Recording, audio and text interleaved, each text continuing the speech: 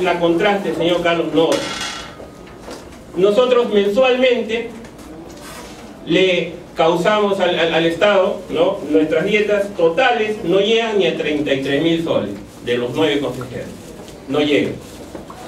Pero lo que se vienen gastando mensualmente en la gerencia general regional es aproximadamente 171 mil soles.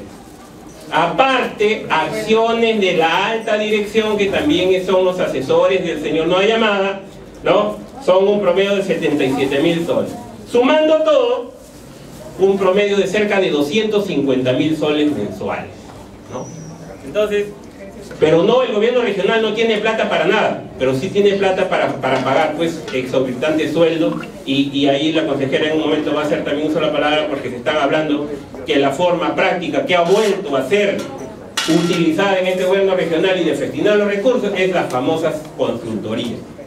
¿no? Por ahí está saliendo el dinero.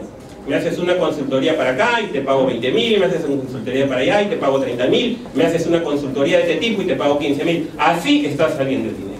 Entonces, esas cositas queríamos que nos las aclare el señor no da llamada.